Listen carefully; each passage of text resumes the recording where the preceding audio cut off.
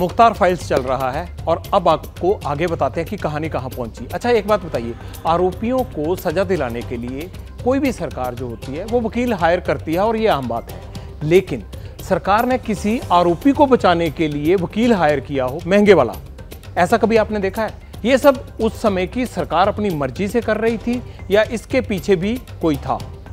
हमने तत्कालीन जेल मंत्री सुखजिंदर सिंह रंधावा से बात की। ये इसलिए भी ज़रूरी था बात करना, क्योंकि उन पर भी आरोप हैं। सुनिए, वो बोल कह रहे हैं? तो रोपड़ जेल में वो रहा।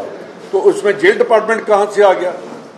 कि ना कोर्ट उसको वापस भेज देती, ना आता वो। साथ ही मैं उसको करना चाहता हूँ सीएम साहब को, कि कहीं आपने पचपन लाख जो है, वो पेमेंट तो नहीं कर दी। उसके बाद आपको याद है कि जी क्या कर दिया मैंने।